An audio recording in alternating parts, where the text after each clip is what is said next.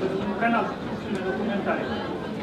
Începem așadar lansarea celui mai recent volum de Gabriel Greceanu, publicat la editura Humanitas, Nebunia de a gândi cu mintea ta. L-am invitat pe Horia Roman Pagatrievici și mulțumit că a acceptat.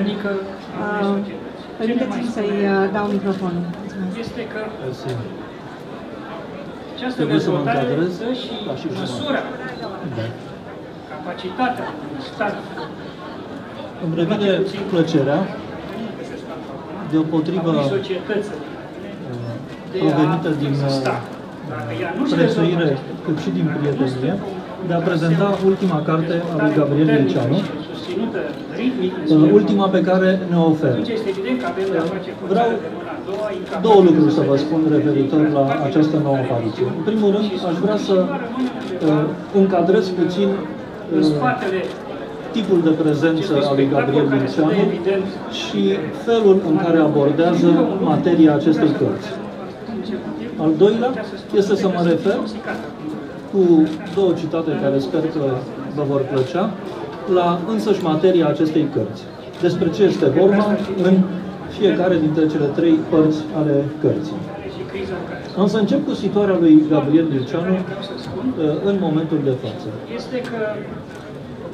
Uh, vorbește mult și bine. Am să iau ca analogie uh, biografia intelectuală a unui, uh, uh, a unui gânditor foarte cunoscut, Carl Raimund Popper, pentru că există o similitudine.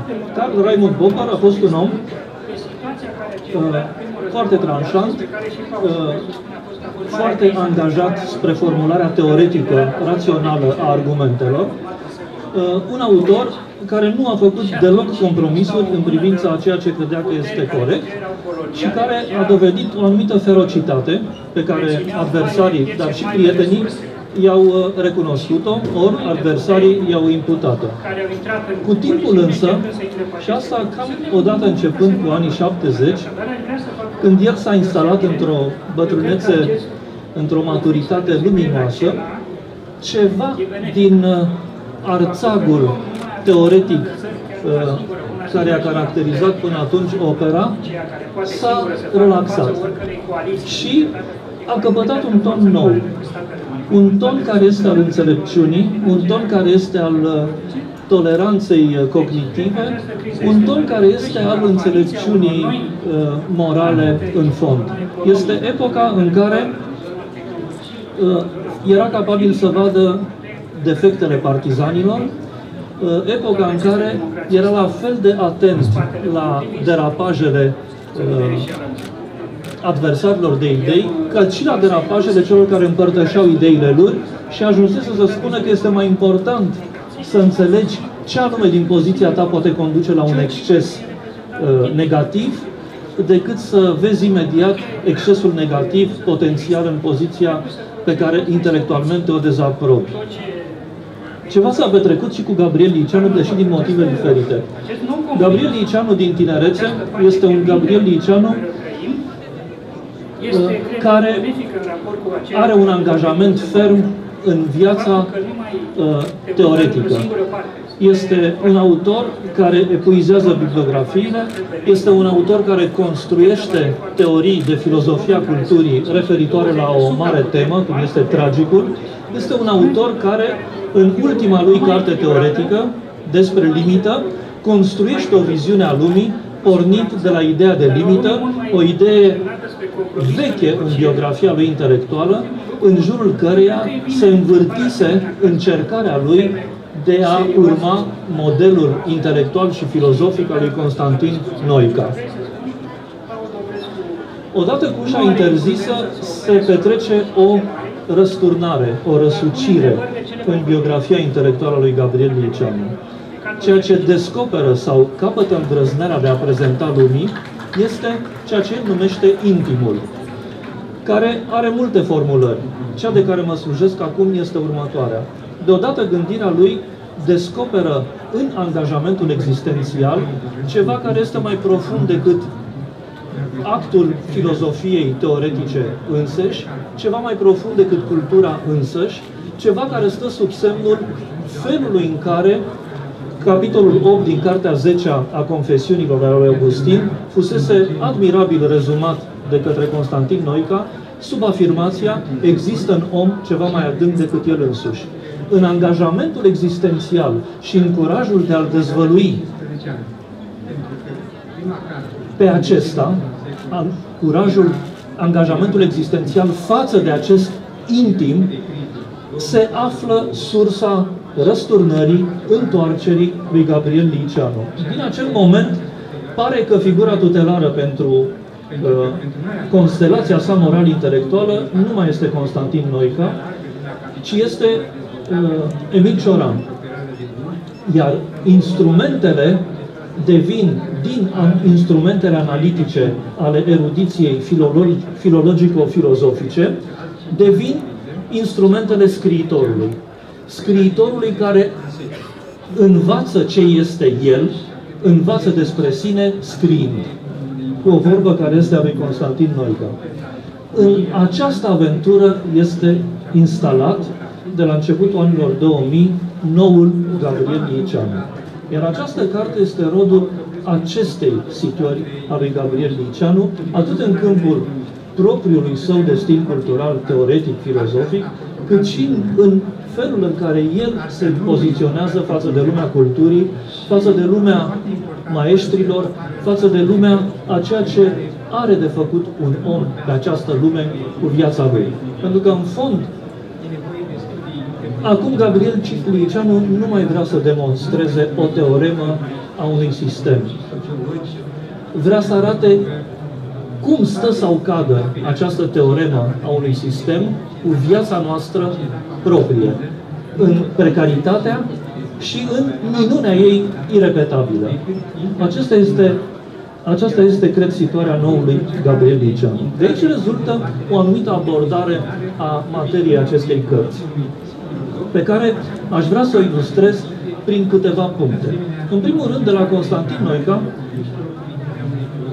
a preluat, dezvoltat și ilustrat cu extraordinară strălucire uh, paradoxul acestei vorbe a lui Noica. Nu ar fi dacă nu s-ar povesti. Nu există cu adevărat decât ceea ce poți povesti. Gabriel Iceanu este un admirabil povestitor al ideii. O vedeți peste tot. Enunță ideea și o povestește în două feluri. În ceea ce ea are analitic uh, în ea însăși, cât și în valențele acestei idei, pe un traseu pe care îl reconstruiește cultural prin câteva mari figuri. A doua modalitate este modalitatea interogației arborescente. Iau un citat dintr-un autor. Veți, veți vedea în această carte, în mod tipic, multe astfel de ilustrări. Iau un citat dintr-un autor. Îmi cer scuze că stau cu spatele spre dumneavoastră, dacă mă apropii, băzuie. Iau un citat dintr-un autor. Știți cum începe să-l explice?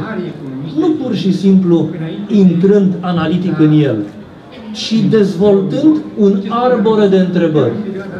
Înțelegi extraordinar de bine ce este în acel citat, ă, deschizându-se în mintea ta întrebările pe care le formulează Gabriel Liceanu.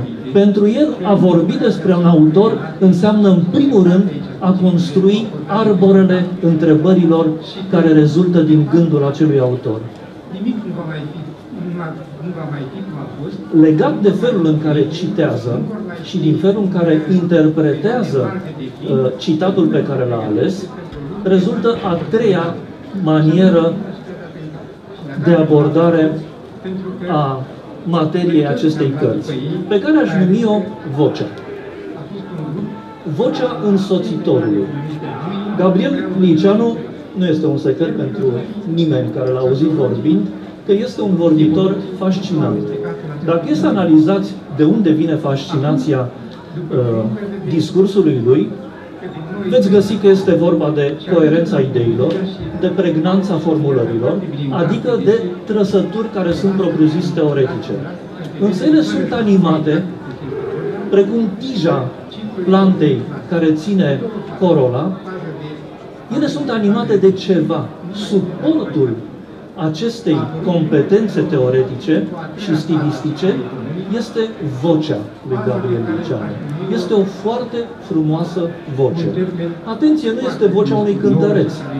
Nu este vocea cuiva despre care să-i spui omul acesta are o voce uh, nu știu cum, uh, standard frumoasă și să spui Nu, este vocea acelui tip de competență teoretică, intelectuală și morală pe care o vedeți expusă în discursul care vă place. Altfel spus, este chiar vocea care susține acea atitudine moral-intelectuală. Fizic vorbind, este vocea unui bariton admirabil. Cred că poate vrăji multă lume Gabriel vorbind pur și simplu. Când este vorba de scris, această voce este deopotrivă prezentă. Cine îl cunoaște, o reface mental ca fiind vocea fizică a lui Gabriel Liceanu. Dar cine nu o cunoaște, o identifică ca fiind vocea care conferă plăcere la lectură acestui text. Este o voce a intimului acestui gând pe care îl poartă Gabriel Liceanu. Este vocea însoțitorului. Gândiți-vă că există o figură arhetipală a celui care conduce sufletele spre intimul gândirii autorilor. Și vă duce, am evocat, și nu din pedanterie uh, v-am enunțat cartea și capitolul 10.8 din Confesiunile Augustin. Este admirabilul, extraordinarul capitol despre memorie și despre infinitul ei și despre adâncimea de necuprins a spiritului, spiritul însuși neputând să fie cuprins de el însuși, ceea ce este o definiție a infinitului. Ei bine, acest pasaj este admirabil interpretat de Gabriel Liceanu, pe urmele lui Constantin Noica, și aici se simte extraordinar de bine vocea însoțitorului. Este figura arhetipală a celui care te ia de mână și te duce într-un loc care este minunat și îți arată acel loc.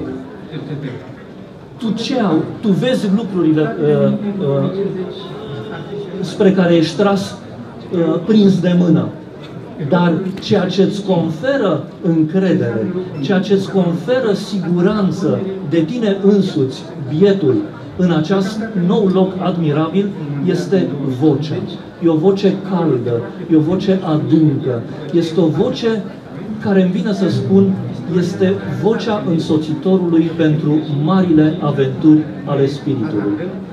Și ajung acum la a patra însușire sau metodă de abordare a materiei acestui text. Este un text care vorbește despre filozofi, despre ce au spus unii dintre mari filozofi. Este un text în care apar figuri mari figuri ale culturii universale sau ale culturii românești. Este un text care poate foarte ușor pe mâna cuiva care nu are această voce sau nu are această abordare, a patra de care vorbesc, ar putea foarte ușor să cadă în pedanterie. Deschizi cartea și zici, aolă, iarăși Heidegger. Mai dai două pagini și zici Kierkegaard. Domne, dar Totuși, viața noastră nu este făcută nici din Martin Heidegger, nici din Søren Kierkegaard. Ce poate el spune, el, Martin Heidegger, el, Søren Kierkegaard, mie, care am aceste probleme, această viață și această puținătate existențială în fond, care este a mea, care nu sunt un geniu, nu sunt un scriitor, nu sunt un mare gânditor. Cum îmi vorbește acest lucru? Și aceasta este a patra abordare modul în care Gabriel Liceanu convocă, convoacă pentru el însuși în primul rând și pentru noi aceste nume, aceste repere culturale, nu este modalitatea scolastică, expozitivă a gânditorului, ci este modalitatea intimului, de care am vorbit mai devreme, adică este modalitatea îmbrățișării. În această carte, și acesta este momentul, revin la felul în care l-am situat pe Gabriel Liceanu, acum în propria lui viață, așa este atitudinea înțeleptului la maturitatea sa de plină. Așa cum într-un, într-o superbă poezie a lui Hölderlin, Socrate era somat să răspundă la întrebarea de ce își petrece atâta timp cu Alcibiade și este atât de atent la frumusețea acestui om, el a răspuns ades la urmă înțelepții tânjesc după frumos. Felul în care Gabriel Liceanu iese acum în întâmpinarea cititorului este stă sub figura îmbrățișării. Autorul acestei cărți vă spune despre aventura spirituală a umanității, acela care se referă aici, aventura gândirii pe cont propriu, îmbrățișându-vă spunându-vă cumva ca în relatarea pe care Aristotel o face despre vizitatorii uh, la Heraclit, care, cărora li s-a spus că Heraclit este în bucătărie și au ezitat să intre în intimul acelei case care este bucătăria. Și Heraclit le-a spus, intrați, sunt zei și aici. Martin Heidegger, Søren Kierkegaard vă privesc și pe dumneavoastră, iar modalitatea prin care Gabriel Liceanu vă spune acest lucru, povestindu-vă cum îl privește pe el uh, uh, secvența acestor mari gânditori, este a îmbrățișării. Să știți că atunci când veți citi această carte, veți auzi nu numai vocea lui Gabriel Liceanu, vocea însoțitorului, pe calea descoperirii spirituale, ci veți simți și îmbrățișarea, dacă mi este permis să spun, acestei voci. Pentru că nu este o îmbrățișare a unui om în carne și oase. Este îmbrățișarea unei voci care este vocea însoțitorului. Este îmbrățișarea a ceva ce din cultură ne vine și pe care unii dintre noi reușesc să-l articuleze.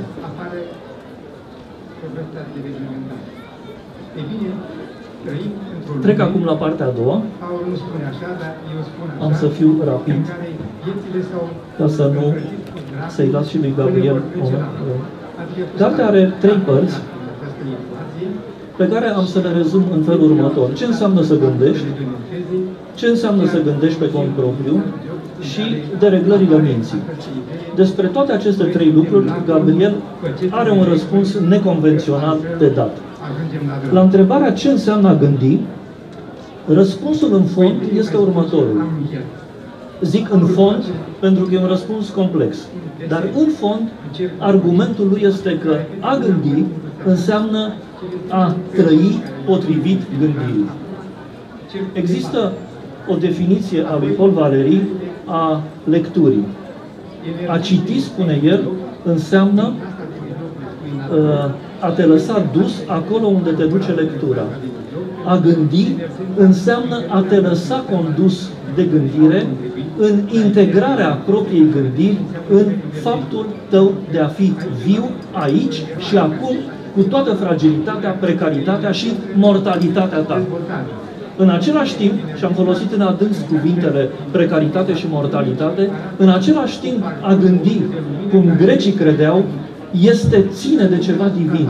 Pentru că gândirea este în sine punctul în care omul se învecinează cu zeul, cu divinitatea, pentru că pur și simplu, atunci când omul gândește cu adevărat, el devine divin, nu într-un sens mistagogic, pentru că nu începe să leviteze, se ridică în tavan și face toate gesturile New Age, după care identificăm prezența Divinului.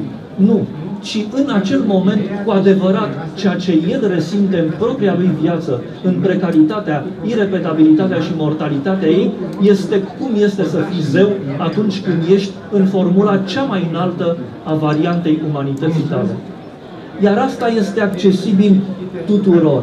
A înțelege cu adevărat un gând pe care l-a formulat cineva, ori ați înțelege intuiția care este la început presimțirea senzorială a unui gând nou, oricine a trecut prin această experiență știe că bucuria, plăcerea, starea de luminozitate și de claritate internă pe care le obține, îl fac să înțeleagă de ce grecii considerau că a gândi înseamnă a fi asemănător zeilor.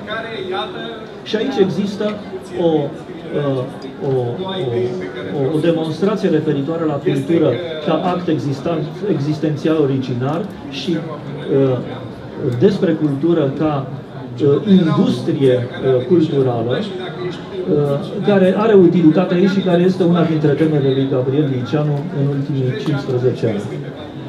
Partea a doua, a gândit pe cont propriu, și cu asta o să închei, vă las pe partea a treia despre dereglajul fiind doar cu o scurtă definiție. Ce înseamnă a gândi pe, pe cont propriu? În mod paradoxal, Gabriel Linceanu ne spune, înseamnă să-ți găsești un maestru. Înseamnă, de fapt, să înțelegi că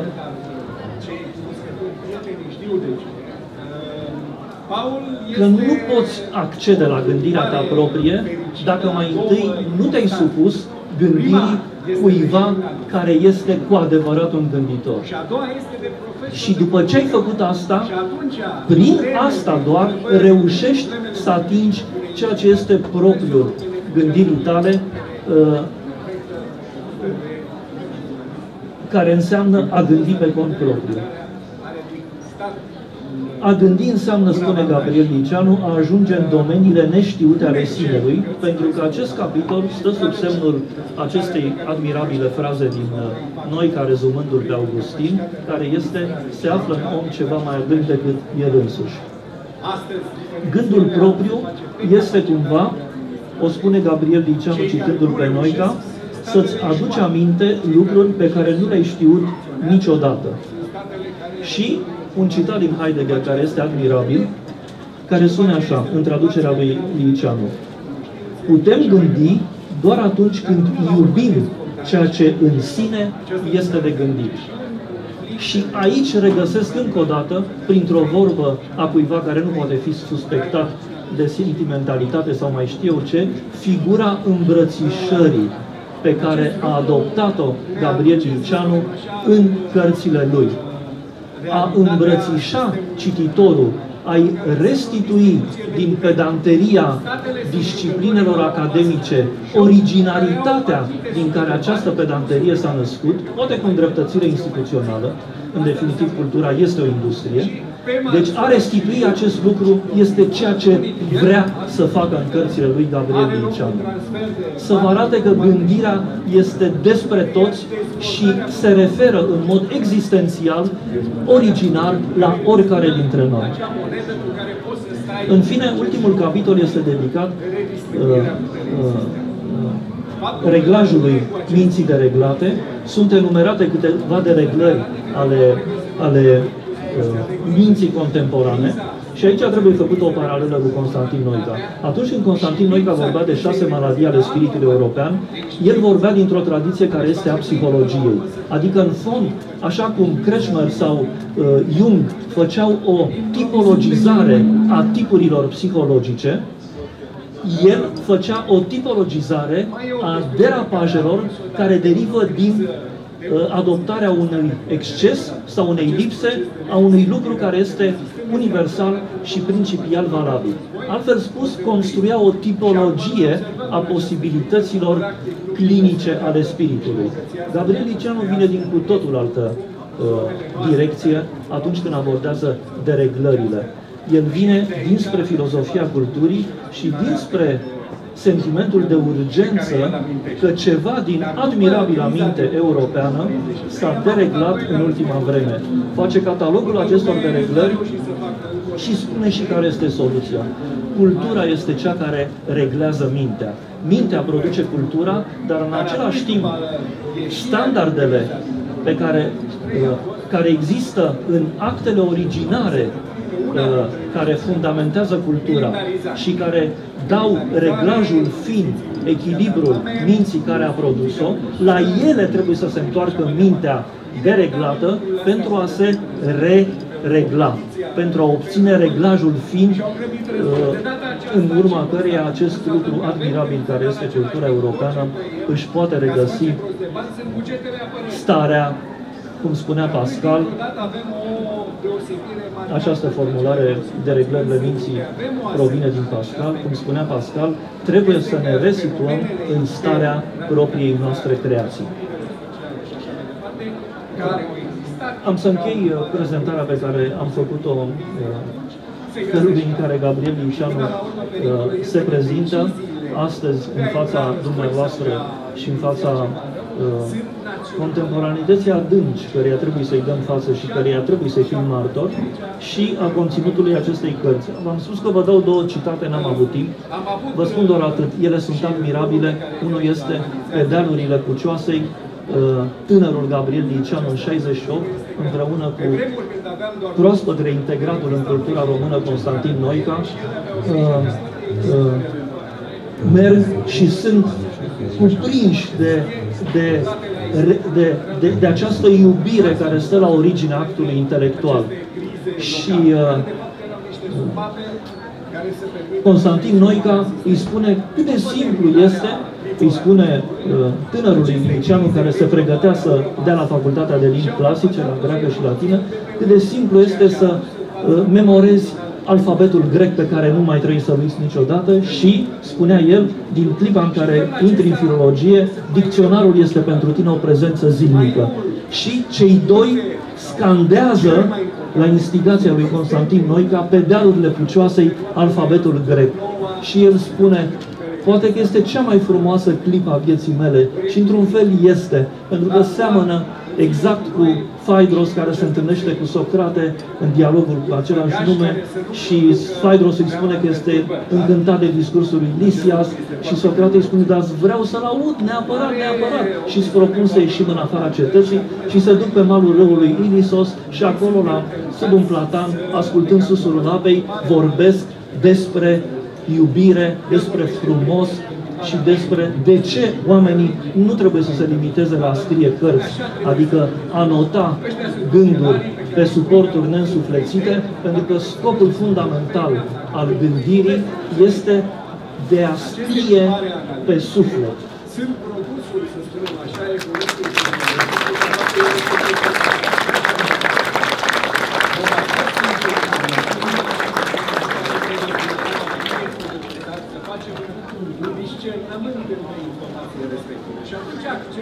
Evident, am să încep prin am cere scuze față de Horia Patapievici și totodată ai mulțumit.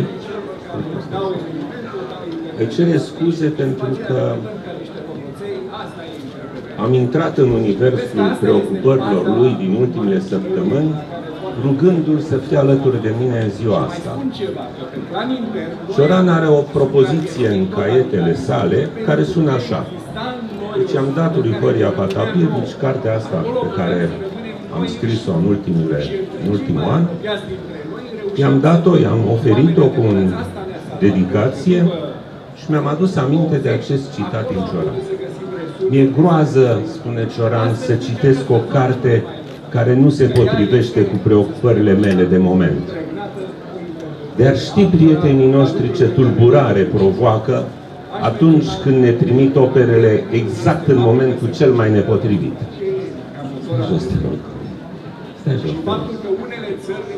Uh, e imposibil să nu fi știut când i-am dat cartea că pic în momentul cel mai nepotrivit.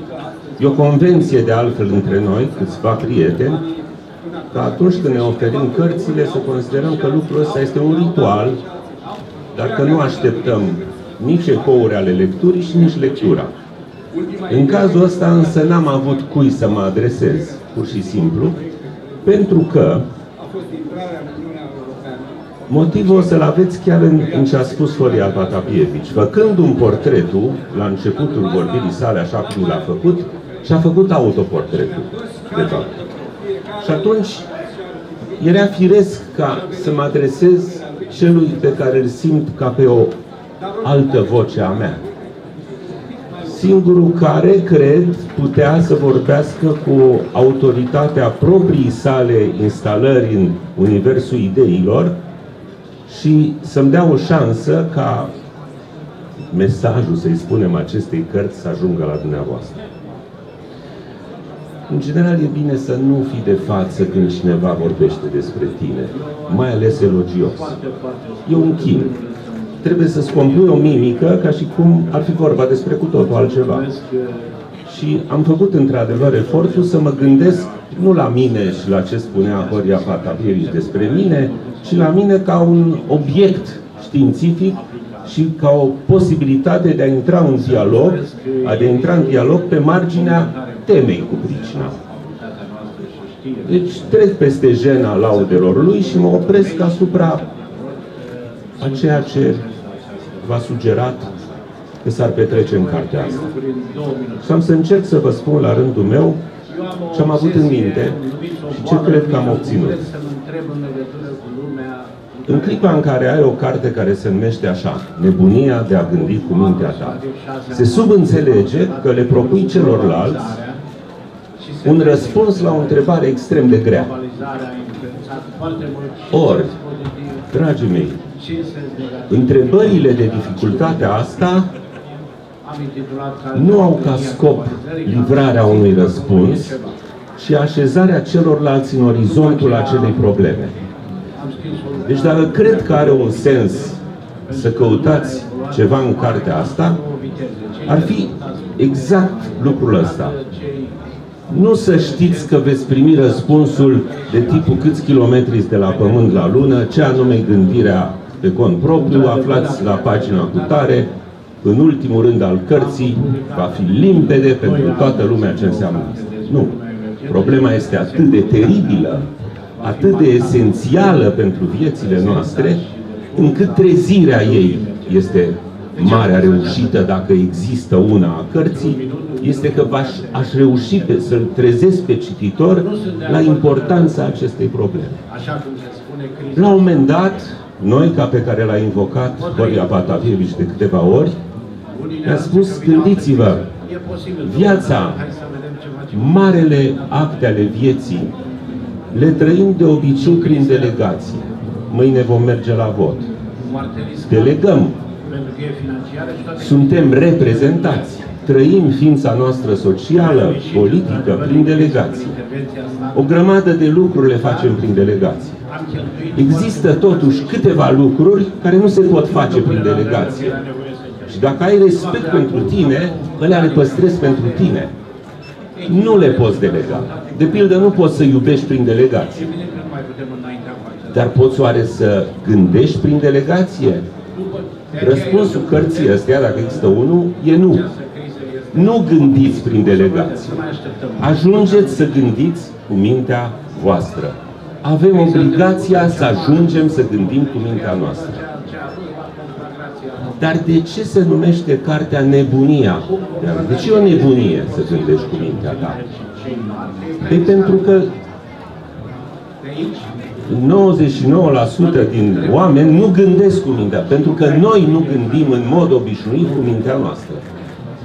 Deci o nebunie să pretinze asta dinăuntru normalității. Normalitatea e nu gândim cu mintea noastră. Dar cum gândim? Cum gândim de obicei? Funcția fundamentală a gândirii, neurologic vorbind, dacă îl întreb pe un neurolog ce e gândirea, o să spună că este instrumentul, funcția unui organ, creierul, care îți permite să te orientezi în mediul tău și în general să-ți construiești viața cu actele ei pragmatice. Iarăși, o să-ți spună că este mintea care e în stare să facă operații logice, universale, în virtutea cărora există domenii ale științelor. Orice minte umană, dacă nu e bolnavă, va accepta că 2 ori 4 fac 8. Va accepta că structura atomului e cea pe care au livrat-o mințile câtorva savanți de-a lungul. Așadar, mintea noastră e mintea care pricepe adevăruri valabile pentru toți, care le absoarbe, care în același timp are funcția memoriei care depozitează și așa mai departe. Asta e valabil pentru noi toți.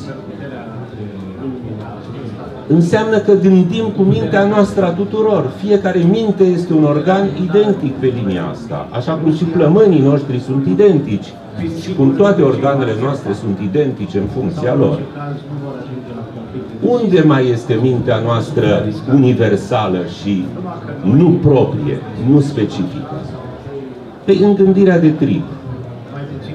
Revelația pe care am avut-o când am început să scriu cartea asta, de fapt problema lui a gândi pe cont propriu e veche de decenii, dar n-am avut niciodată curajul să o înfrunt direct.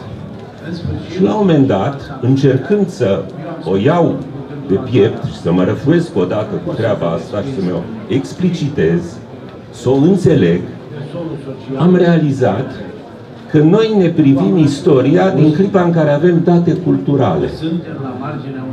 Datele culturale înseamnă din momentul în care știm când a început specia umană să facă agricultură, cam acum 10.000 de ani, din clipa în care știm cam când au apărut primele desene rupestre, din clipa în care apar unelte, și pe urmă ne apropiem și intrăm în istoria cultă a speciei noastre și ne oprim, după ce trecem repede prin Egipt, piramide și alte povești, ne oprim la secolul 6 dinainte de Hristos, când începe marea istorie a gândirii, a artei, a arhitecturii, a tragediei, a literaturii, a filozofiei eline. Dar până atunci, ce făcea specia umană până să fie apărut Tales, Empedocle, Heraclit și pe urmă culminația cu Socrate și tot ce a urmat după el, Platon, Aristotel. Ce făceau? Făceau ceea ce facem și azi. Gândeau tribal. Deci oamenii care, ă, specia umană, are o ă, deci istoria hominienilor pentru antropologi urcă la 2-3 milioane de ani. Deci personajele care funcționau cu gândirea pragmatic, cum funcționăm și noi azi, când mergem la piață sau când batem un cui și așa mai departe. 2-3 milioane de ani. Cei 2600 de ani din clipa în care a început gândirea pe cont propriu, să zicem, aceea despre care vom vorbi, reprezintă 2006 în raport cu aceste milioane în care gândirea funcționa strict tribal, pragmatic, cam 0,1% din ponderea istoriei umanității. Acum 60.000 de ani, Homo sapiens a început să, să migreze către toate continentele lumii din Africa. Dacă luăm punctul ăla ca unul în care semenii noștri încep să ne semene foarte mult, atunci avem o proporție cu acești 2600 de ani de vreo 4% din istorie. Așadar, noi nu gând, omenirea n-a gândit pe cont propriu decât de la o infimă bucată de timp încoace. Ce înseamnă asta? Gândirea noastră este esențialmente tribală. Toți membrii specii umane gândeau și gândesc și azi, subliniez asta, cu un termen generic tribal. Deci cu categoriile tribului. Categoriile tribului erau explicațiile mitologice, felul în care trebuie să te organizezi, fiecare gând al tău, dacă nu era unul pragmatic și era unul explicativ, era de tipul tribal, adică împărtășit de toată lumea și nu dictat de o minte aparte. Și atunci înseamnă, la un moment dat, acum vreo 2600 de ani, cum spuneam, a apărut primul individ, și întâmplător îi cunoaștem numele, îl cheamă Tales, care a socotit că are dreptul să înțeleagă lucrurile pe cont propriu, cu mintea lui, nu cu mintea celorlalți. Adică, primul care s-a gândit, care avea dreptul să gândească nu prin delegația colectivității, ci doar cu mintea lui. Dar al minteri, când excepția asta și-a făcut apariția în lume și a născut un șir care de atunci s-a perpetuat, nu știu exact să vă spun cu ce pondere până în ziua de azi, s-a petrecut lucrul ăsta. Nu altul îți spune ce e binele, ce e frumosul, care e sensul vieții, cum trebuie să trăiești, cum trebuie să-ți construiești viața din jurul tău, viața societății în care trăiești, care sunt, care ar merita să fie categoriile omenirii gândite de mintea unui om, nu altul spune asta, ci dintr-o dată un om singur gândește lucrurile astea.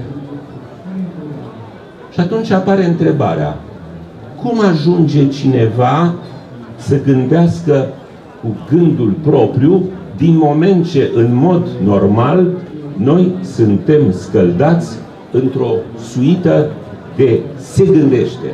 adică de gândiri total impersonale. Cum se face că cineva poate să iasă, să înfrângă orizontul în care ne scăldăm tot timpul, al prejudecăților, al confesionalităților, al mitologiilor comune, al ideologiilor. Deci gândirea noastră, dincolo de cea pragmatică, așa este fasonată. Prejudecăți din familie de obicei, din cercul de prieteni, ideologii, mitologii, explicații transcendente privind transcendentul de un tip mitologic, confesional și cam asta e tot. Și atunci, cum se ajunge la gândirea pe cont propriu dinăuntru acestei capturi totale în care se află mintea noastră? Școala ne fasonează mintea nu ca să gândim cu mintea noastră, ci, împotrivă, ne pune într-o matrice. Nu prea ieși ușor din treaba asta. Și atunci, de unde apare gândirea pe cont propriu dintr-o dată? Cum îndrăznim noi să vorbim despre așa ceva? Și aici intervine un răspuns, singurul punct ferm al cărții, singurul în care pot să spun că am înțeles ceva și că știu să dau un răspuns concret.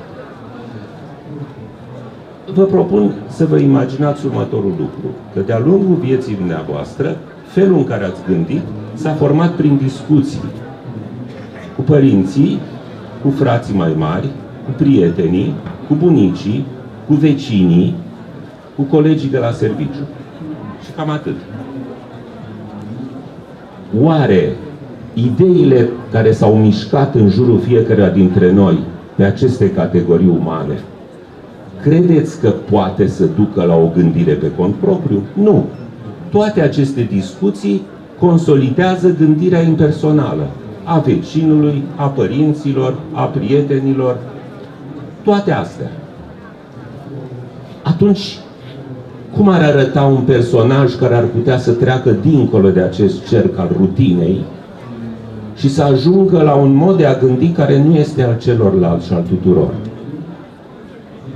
Stând de vorbă nu cu părinții, colegii, prietenii, vecinii, ci stând de vorbă cu mințile cele mai strălucite pe care omenirea le-a selecționat de-a lungul istoriei ei și care reprezintă valorile cele mai înalte pe care le-a acumulat specia noastră.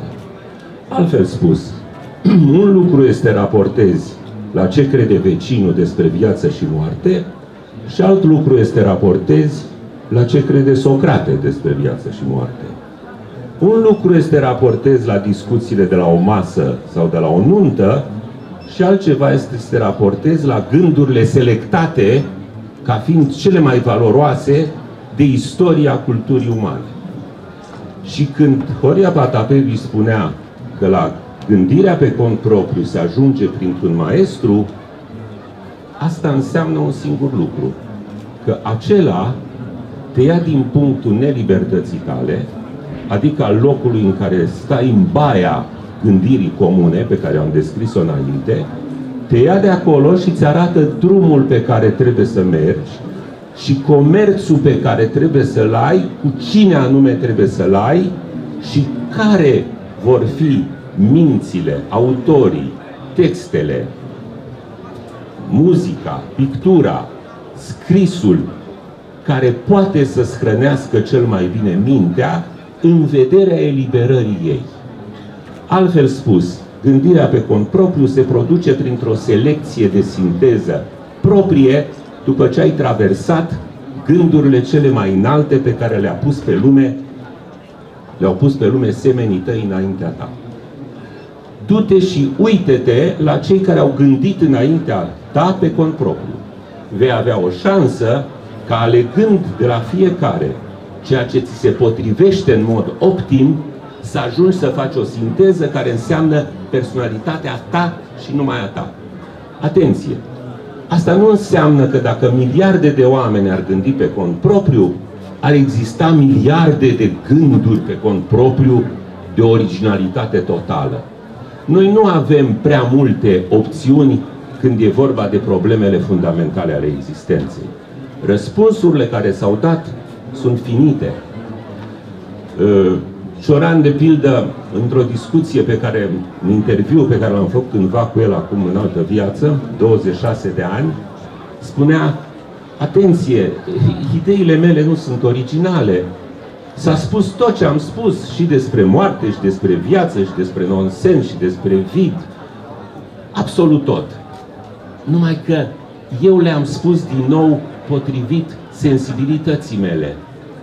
În clipa în care eu fac această excursie prin piața ideilor lumii, ajung să iau de la fiecare și să asimilez în mine, precum într-un bol alimentar, sinteza finală, care este personalitatea mea de gândire, capacitatea mea de a reformula la indicile meu de afectivitate, de voce, de personalitate, ceea ce îmi convine și care poate fi livrat ca pecete inconfundabilă a mea.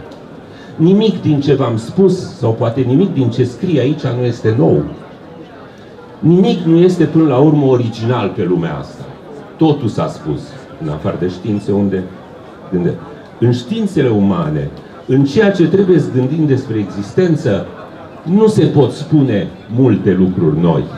Se pot face însă sinteze de personalitate, de gândire noi. Prin voce, frumos cuvântul pe care l-a, l-a găsit. Vocea este indicele inconfundabil, o cupolă, un creier sub care se adună într-o formulă nouă ideile convenabile pentru cel care le-a asimilat. Asta e povestea acestei cărți în linii mari. Ajungi la o grilă de personalitate și raportul ăsta, care e fundamental între gândirea proprie și cultură, nu este un raport de fandoseală, de snobism, de vânturare de cunoștințe, de cât de cult sunt eu și de cât am citit. Nu. Raportul gândire proprie-cultură duce la selecția de gânduri făcute de omenire, selecția de gânduri făcută înăuntru selecții pe care omenirea a făcut-o și care te ajută să înțelegi tu cu mintea ta, nu prin delegație. Oamenii înțeleg în general prin delegație. Am auzit eu cum se pune problema. Mi-a spus mie cu tare. Am auzit la televizor. Uite, a zis cu tare că. Toate sunt prin delegație. Și ultimul lucru, Coria l-a atins Patapievici dar am să revin asupra lui. Există evident câteva referințe culturale. Credeți-mă că obsesia mea în ultimii 20-30 de ani a fost să scot filozofia din prejudecata că ăsta este un lucru hă, hă, și mare filozofie sau deci filozofia e ceva enorm care vine ca o piatră pe mintea noastră și care a priori nu poate fi înțeleasă. E pentru câțiva oameni. Total fals. Ceea ce v-am spus acum nu e pentru câțiva oameni și nu este pentru un amfiteatru de la Facultatea de Filozofie. Este o, o încercare disperată de a face prietenoasă întâlnirea cu ideile, de a face viața transparentă cu ajutorul unor gânduri pe care ai încercat la rândul tău să le obții, cum spuneam pe cont propriu. Tot ce vă spun vă spun, nu este prima oară spus pe lume, dar este spus în așa fel încât poate ascultând lucrurile astea să vă împrieteniți cu toți cei care într-un fel sau altul le-au numit prima oară. Că îi cheamă Kierkegaard, Platon, Heidegger, mai știu eu cum, Augustin, Marc Aureliu, nu contează. Contează că ei, ei, pe ei trebuie să-i simțiți ca cei mai apropiați oameni de dumneavoastră. Ei au mers cel mai departe către înțelegerea sensurilor noastre de viață. Cei cu noi pe această lume, n-am să înțeleg fără ajutorul lor. Și atunci eu am obligația, dacă m-ați plătit pe lume ca să fac filozofie, societatea, Obligația mea nu este să vorbesc ca un papagal într-un jargon în fața a 20 de oameni, și să fac ca ideile mari ale lumii să ajungă în sufletele și în mințile dumneavoastră. Ăsta e pariul pe care am încercat să-l fac. Vă mulțumesc!